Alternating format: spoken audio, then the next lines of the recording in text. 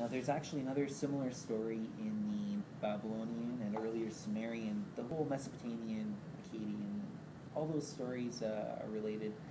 They had one story where one of the gods, Enki, uh, is uh, I don't know how to pronounce the other one. It's E A, Ya or something. I don't know. but uh, Enki is um, one of the gods in the Babylonian tradition that helped create humanity as a species on the planet. And his brother, Enlil, started getting really annoyed at the humans because they were making a lot of noise and complaining about their hard labor that the gods were making them do, and which was what they were created for in the first place. Um, he was like, ah, they're, I can't sleep. They're screaming all the time, and I'm just gonna wipe them out. I'm just gonna kill them.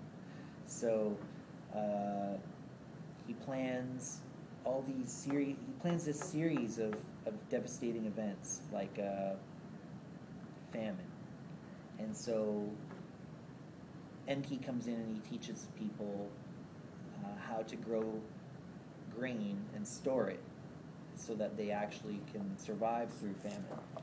And uh, so his plan's thwarted. Enlil decides, well, I'm going to cause a flood.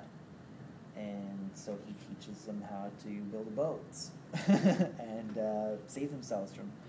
Like, there's a few of them. And so basically, all the main things that empowered the people uh, were taught to them by Enki in order to prevent their destruction by their, you know, a labor master, their slave master, uh, Enlil.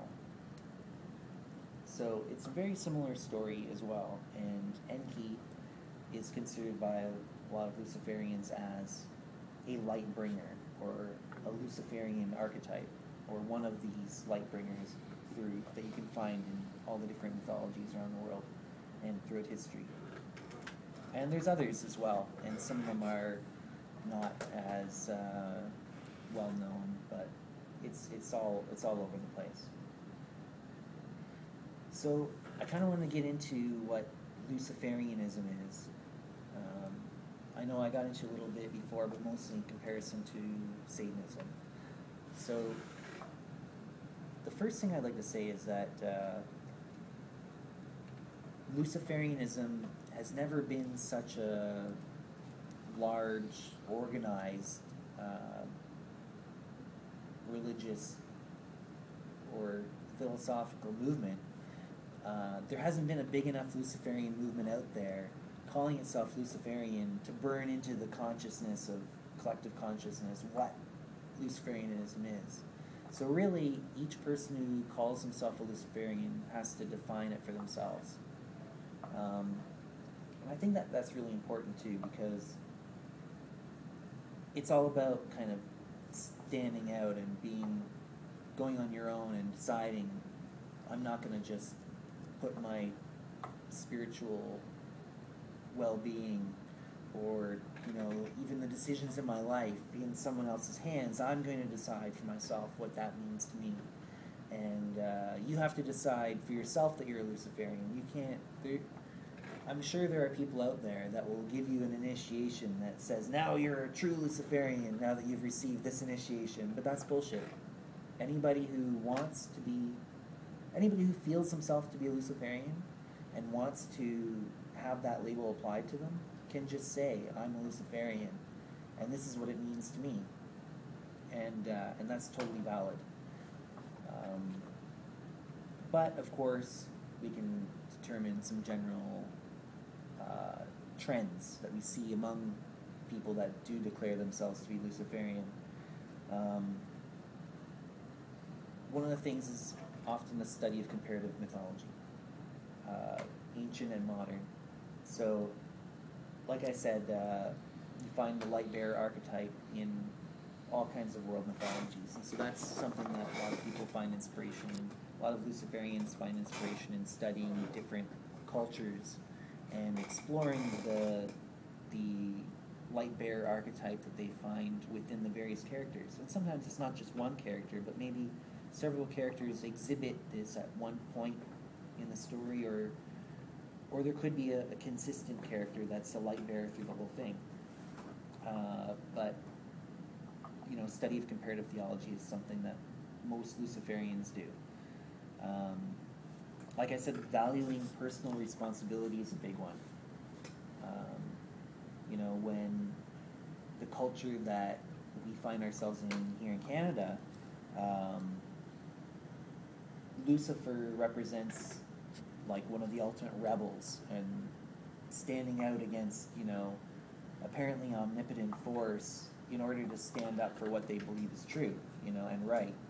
And uh, and also just to stand up for yourself because Lucifer uh, just said, you know what? I don't need to follow your orders. I'm just going to do what I want to do. Um, so personal responsibility, but that also means that you can't just say, "Oh, well, I was just following orders," you know. So the freedom is a two-edged sword, where you know, on the one hand, you get to do what you want without having to, you know, fear hell in the afterlife or whatever threat that's being uh, placed against you. Um, but you do have to take personal responsibility for your actions. Um, you have to save yourself, or you know, you can't just say, "Oh, well, I've given my life to Jesus, so I'm good." You know, he's he's got my back. uh, no, you have to do it. You have to, whatever you feel is the great work, uh, or your purpose in life, or just what you feel is right and and true. Uh, you are responsible for achieving that yourself and living up to your own ideal. Um, oh yeah, so the other major thing about Luciferians in general that we can typically say is is with most Luciferians is the idea of giving to the community. So giving back as well. Um, it's not just about yourself.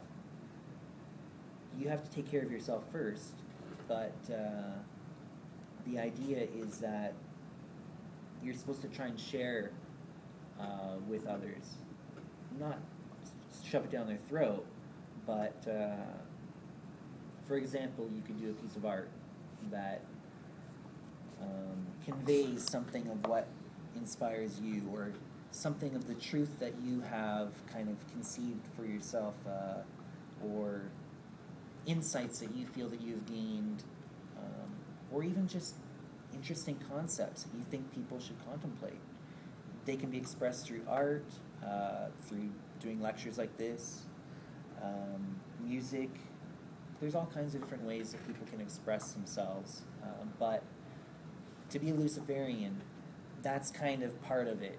Uh, I would say for most most people feel that that is part of it, and it's right in the name itself, light bringer. So what are you bringing? What light are you bringing? You know, uh, it's not. The, the name doesn't mean light hoarder or light collector. It's light bringer, right? So, uh, what sun are you calling up? You know, to shine on the world. And uh, another way to kind of explain what Luciferianism is is to co- to discuss the concept of right hand path and left hand path. Now, Luciferians generally tend to um, conform to the kind of a left hand path kind of concept, but there are lots of Luciferians that are also right hand path.